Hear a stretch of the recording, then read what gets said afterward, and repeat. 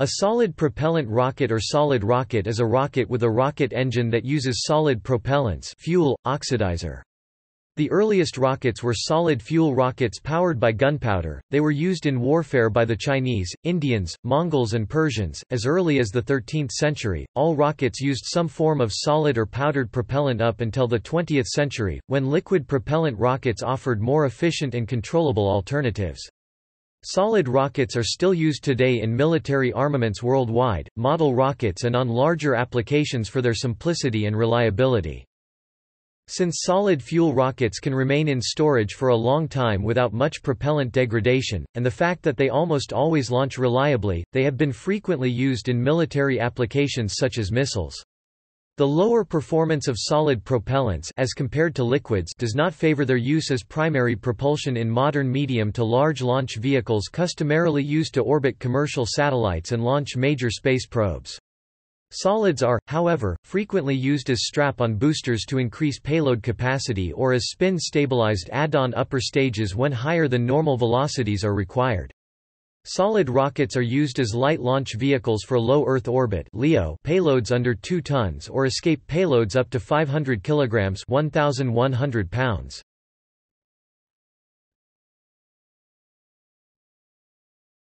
Topic: Basic concepts. A simple solid rocket motor consists of a casing, nozzle, grain, propellant charge, and igniter.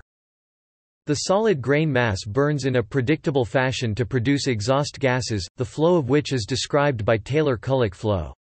The nozzle dimensions are calculated to maintain a design chamber pressure, while producing thrust from the exhaust gases. Once ignited, a simple solid rocket motor cannot be shut off, because it contains all the ingredients necessary for combustion within the chamber in which they are burned. More advanced solid rocket motors can not only be throttled but also be extinguished and then reignited by controlling the nozzle geometry or through the use of vent ports. Also, pulsed rocket motors that burn in segments and that can be ignited upon command are available. Modern designs may also include a steerable nozzle for guidance, avionics, recovery hardware parachutes, self-destruct mechanisms, APUs, controllable tactical motors, controllable divert and attitude control motors, and thermal management materials.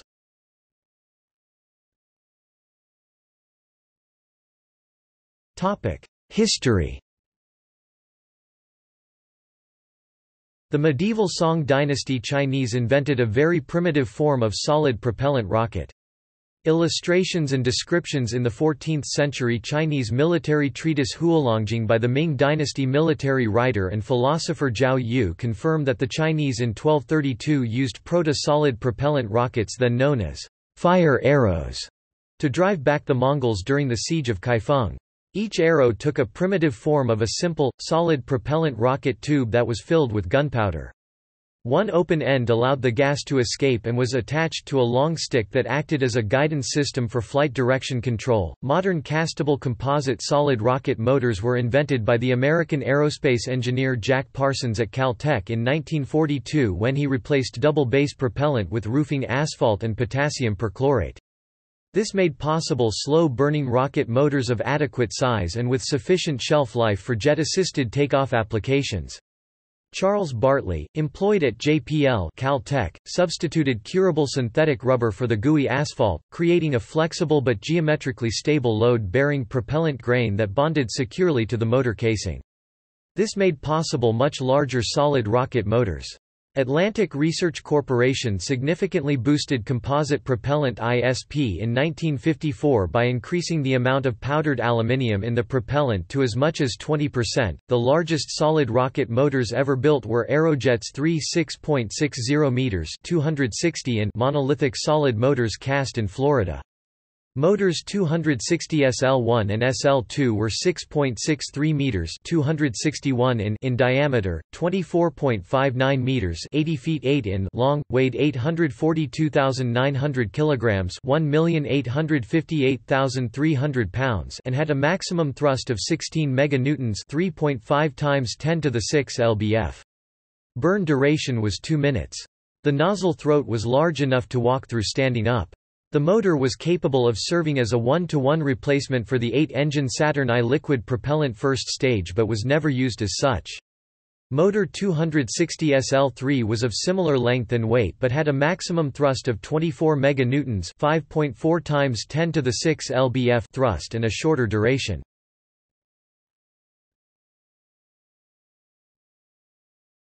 Topic: Design Design begins with the total impulse required, which determines the fuel, oxidizer mass. Grain geometry and chemistry are then chosen to satisfy the required motor characteristics. The following are chosen or solved simultaneously. The results are exact dimensions for grain, nozzle, and case geometries. The grain burns at a predictable rate, given its surface area and chamber pressure. The chamber pressure is determined by the nozzle orifice diameter and grain burn rate. Allowable chamber pressure is a function of casing design. The length of burn time is determined by the grain web thickness. The grain may or may not be bonded to the casing. Case-bonded motors are more difficult to design, since the deformation of the case and the grain under flight must be compatible.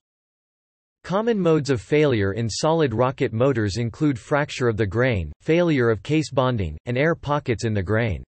All of these produce an instantaneous increase in burn surface area and a corresponding increase in exhaust gas production rate and pressure, which may rupture the casing. Another failure mode is casing seal failure. Seals are required in casings that have to be opened to load the grain. Once a seal fails, hot gas will erode the escape path and result in failure. This was the cause of the Space Shuttle Challenger disaster.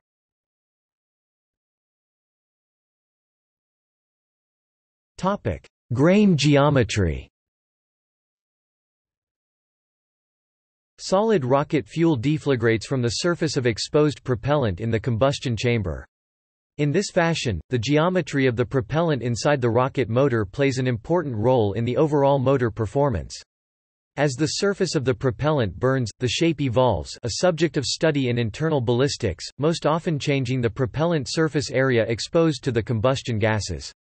Since the propellant volume is equal to the cross-sectional area A S a underscore S times the fuel length, the volumetric propellant consumption rate is the cross-section area times the linear burn rate B display style dot b and the instantaneous mass flow rate of combustion gases generated is equal to the volumetric rate times the fuel density.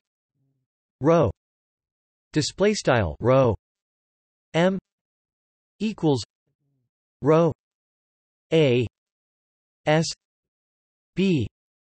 Display style dot m equals rho. C dot a underscore s c dot dot b Several geometric configurations are often used depending on the application and desired thrust curve. Circular bore, if in Bates configuration, produces progressive-regressive thrust curve. End burner, propellant burns from one axial end to other producing steady long burn, though has thermal difficulties, center of gravity CG shift. C-slot, propellant with large wedge cut out of side along axial direction, producing fairly long regressive thrust, though has thermal difficulties and asymmetric CG characteristics. Moon burner, off-center circular bore produces progressive regressive long burn, though has slight asymmetric CG characteristics. Finocyl, usually a five- or six-legged star-like shape that can produce very level thrust, with a bit quicker burn than circular bore due to increased surface area.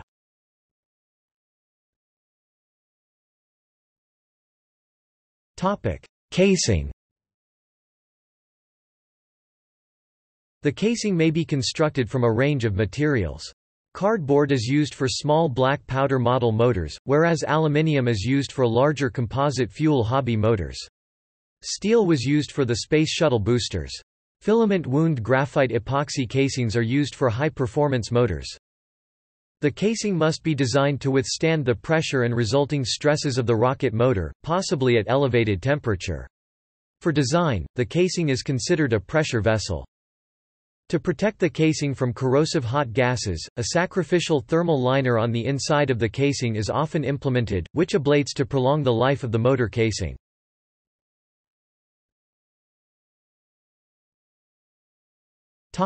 Nozzle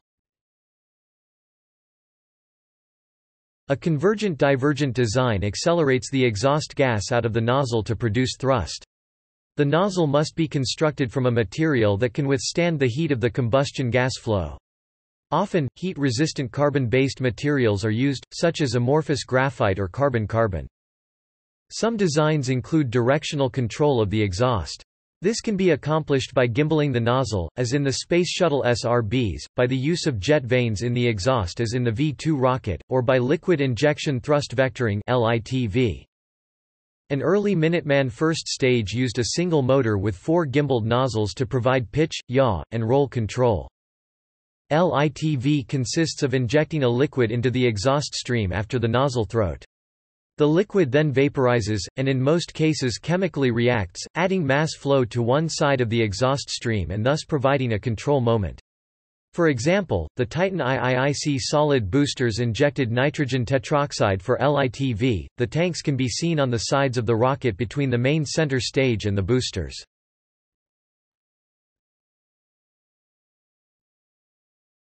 Topic: Performance.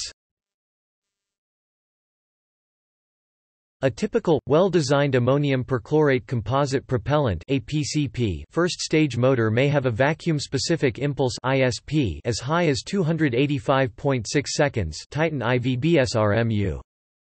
This compares to 339.3 s for kerosene, liquid oxygen ROAD 180 and 452.3 s for hydrogen, oxygen Block 2 SSME bipropellant engines.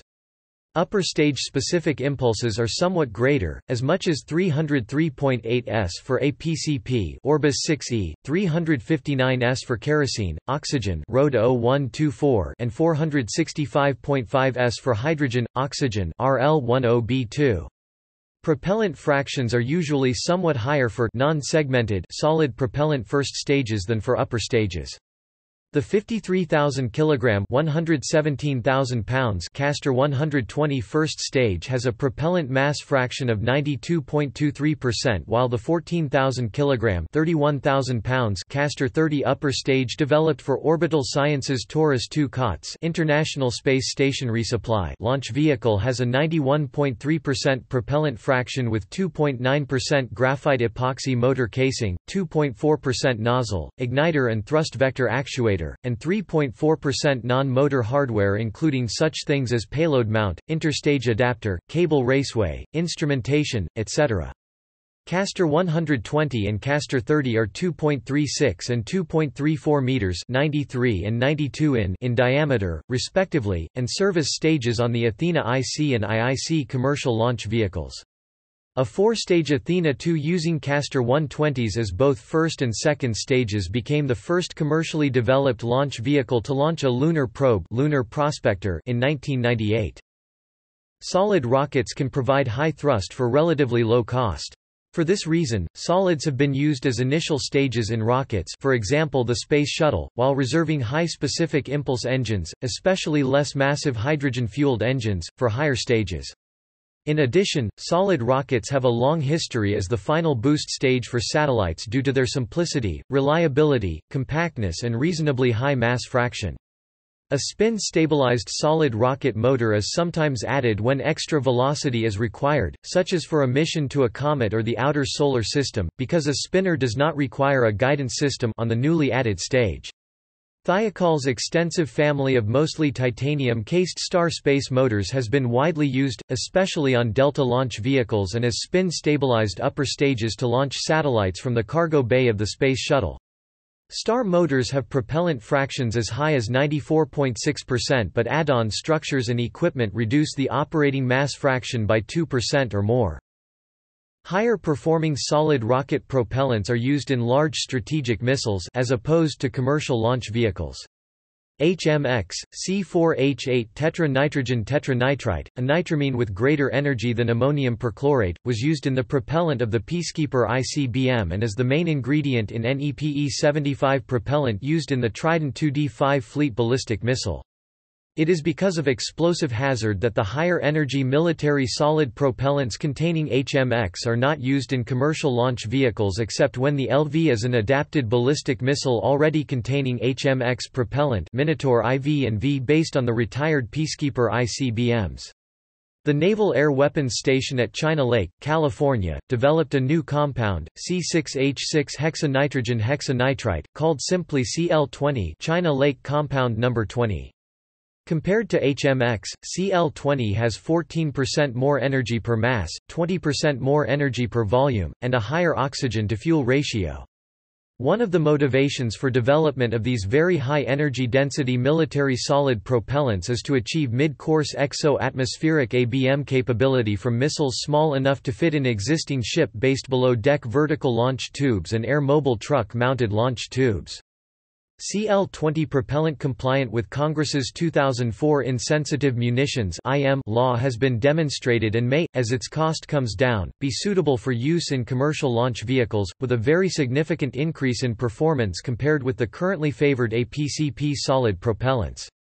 With a specific impulse of 309s already demonstrated by Peacekeeper's second stage using HMX propellant, the higher energy of CL-20 propellant can be expected to increase specific impulse to around 320s in similar ICBM or launch vehicle upper stage applications, without the explosive hazard of HMX. An attractive attribute for military use is the ability for solid rocket propellant to remain loaded in the rocket for long durations and then be reliably launched at a moment's notice.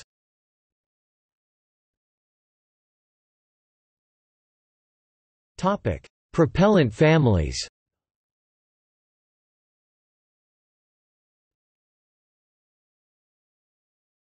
Topic: Black powder, gunpowder, propellants. Black powder, gunpowder is composed of charcoal, fuel, potassium nitrate, oxidizer, and sulfur, fuel and catalyst. It is one of the oldest pyrotechnic compositions with application to rocketry. In modern times, black powder finds use in low-power model rockets such as Estes and Quest rockets, as it is cheap and fairly easy to produce. The fuel grain is typically a mixture of pressed fine powder into a solid, hard slug, with a burn rate that is highly dependent upon exact composition and operating conditions. The performance or specific impulse of black powder is low, around 80 seconds. The grain is sensitive to fracture and, therefore, catastrophic failure. Black powder does not typically find use in motors above 40 newtons 9.0 pounds force.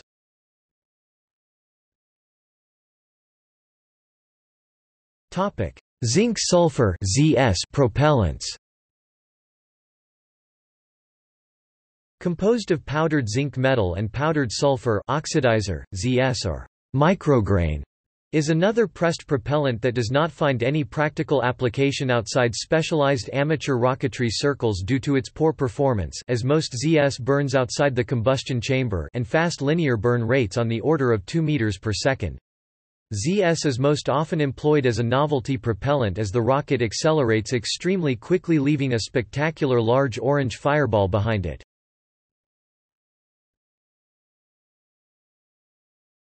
Topic: Candy propellants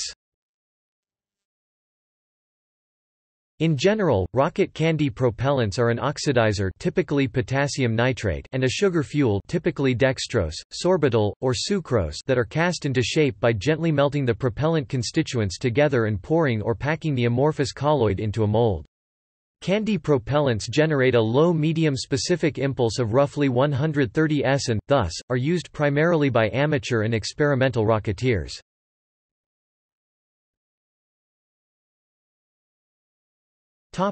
Double base DB propellants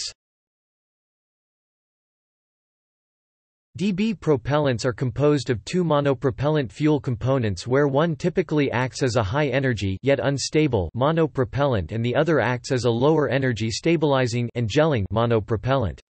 In typical circumstances, nitroglycerin is dissolved in a nitrocellulose gel and solidified with additives. DB propellants are implemented in applications where minimal smoke is required yet medium high performance ISP of roughly 235 s is required. The addition of metal fuels such as aluminium can increase the performance around 250 s, though metal oxide nucleation in the exhaust can turn the smoke opaque.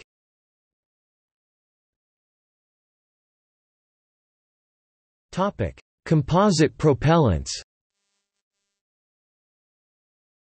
A powdered oxidizer and powdered metal fuel are intimately mixed and immobilized with a rubbery binder that also acts as a fuel. Composite propellants are often either ammonium nitrate-based or ammonium perchlorate-based APCP. Ammonium nitrate composite propellant often uses magnesium and or aluminium as fuel and delivers medium performance ISP of about 210 s whereas ammonium perchlorate composite propellant often uses aluminium fuel and delivers high performance vacuum ISP up to 296 s with a single piece nozzle or 304 s with a high area ratio telescoping nozzle. Aluminium is used as fuel because it has a reasonable specific energy density, a high volumetric energy density, and is difficult to ignite accidentally. Composite propellants are cast, and retain their shape after the rubber binder, such as hydroxyl-terminated polybutadiene HTPB, cross-links solidifies with the aid of a curative additive. Because of its high performance, moderate ease of manufacturing, and moderate cost, APCP finds widespread use in space rockets, military rockets, hobby and amateur rockets, whereas cheaper and less efficient ANCP finds use in amateur rocketry and gas generators.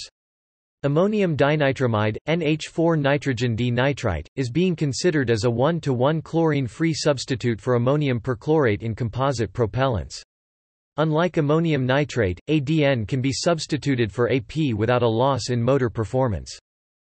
Polyurethane-bound aluminium APCP solid fuel was used in the submarine-launched Polaris missiles.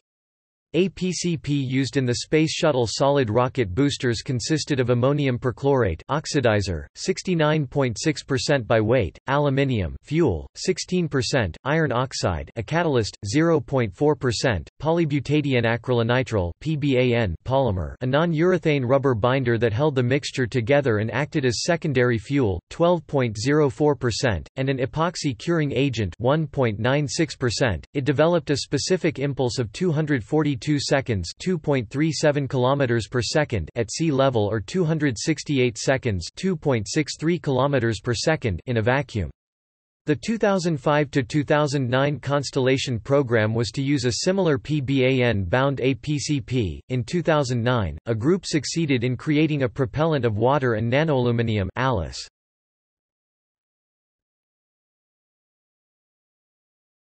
Topic: High-energy composite propellants Typical HEC propellants start with a standard composite propellant mixture such as APCP and add a high-energy explosive to the mix. This extra component usually is in the form of small crystals of RDX or HMX, both of which have higher energy than ammonium perchlorate. Despite a modest increase in specific impulse, implementation is limited due to the increased hazards of the high explosive additives.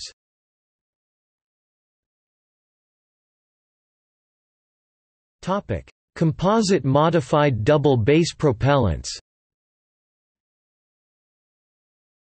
Composite modified double base propellants start with a nitrocellulose nitroglycerin double base propellant as a binder and add solids typically ammonium perchlorate AP and powdered aluminium normally used in composite propellants. The ammonium perchlorate makes up the oxygen deficit introduced by using nitrocellulose, improving the overall specific impulse. The aluminium improves specific impulse as well as combustion stability. High-performing propellants such as NEPE-75 used to fuel the Trident 2D5, SLBM replace most of the AP with polyethylene glycol-bound HMX, further increasing specific impulse. The mixing of composite and double base propellant ingredients has become so common as to blur the functional definition of double base propellants.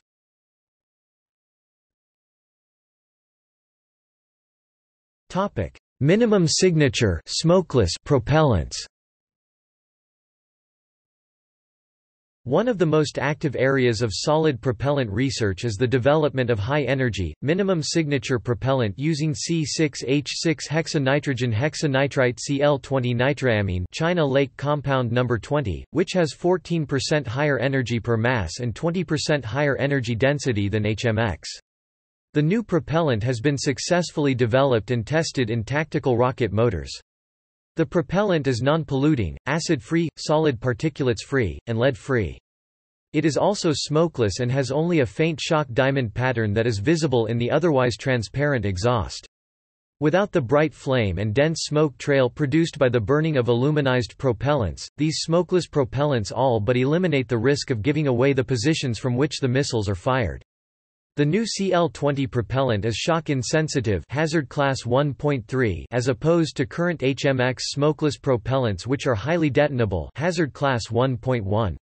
CL-20 is considered a major breakthrough in solid rocket propellant technology but has yet to see widespread use because costs remain high.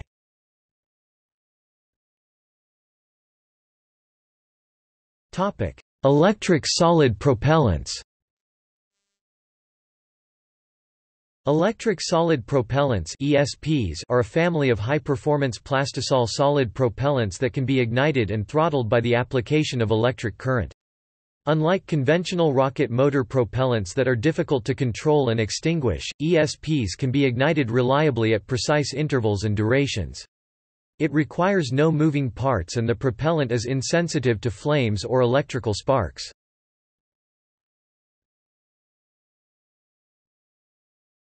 Topic: Hobby and amateur rocketry.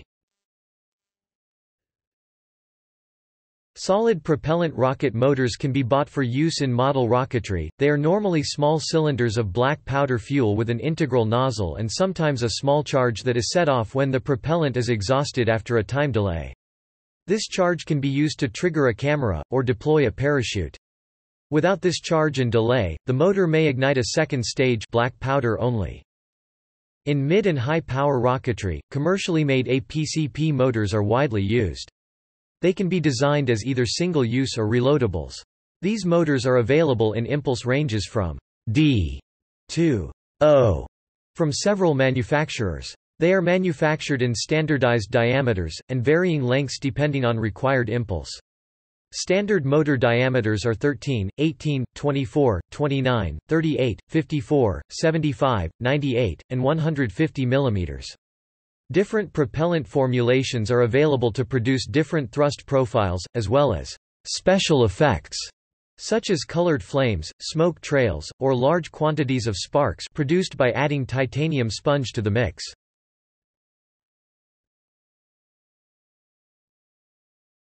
Topic: Use.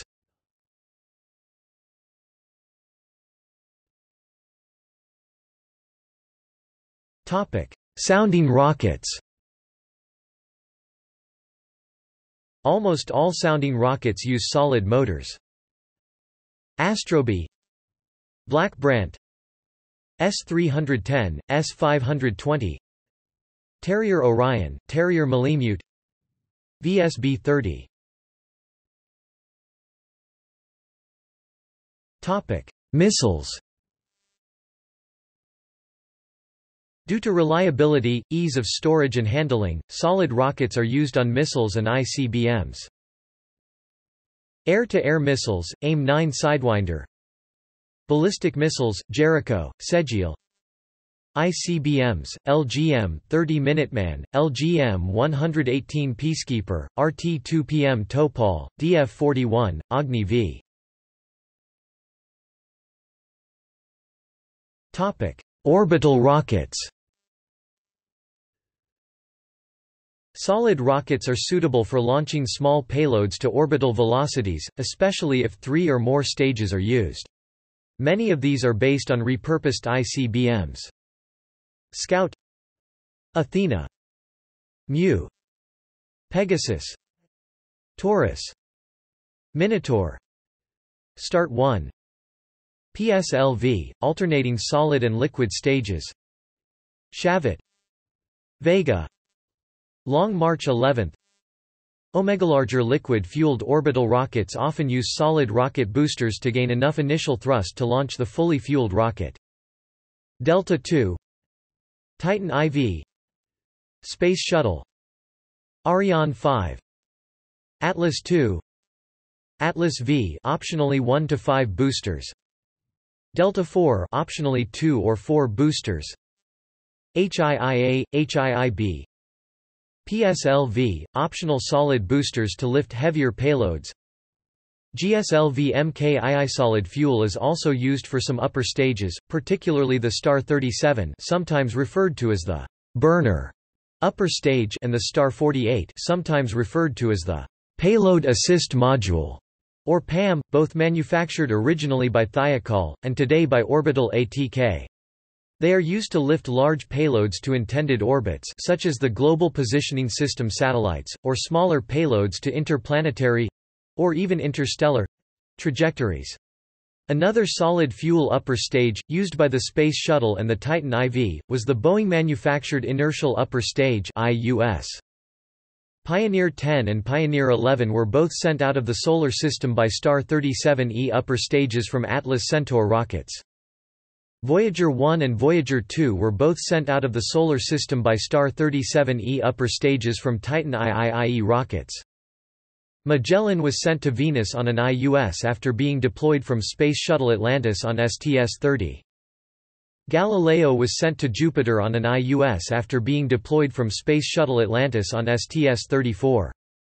Ulysses was sent to Jupiter on an IUS and a Star 48 PAM after being deployed from Space Shuttle Discovery on STS-41. It then was placed in a polar orbit around the Sun following a gravity assist around Jupiter. New Horizons was sent out of the Solar System on a Star 48 PAM from an Atlas V rocket. Some rockets, like the Antares manufactured by Orbital ATK, have mandatory solid fuel upper stages. The Antares rocket uses the Orbital ATK manufactured Castor 30 as an upper stage.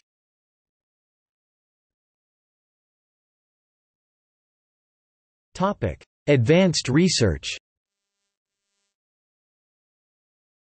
Environmentally sensitive fuel formulations such as ALICE propellant Ramjets with solid fuel Variable thrust designs based on variable nozzle geometry Hybrid rockets that use solid fuel and throttleable liquid or gaseous oxidizer.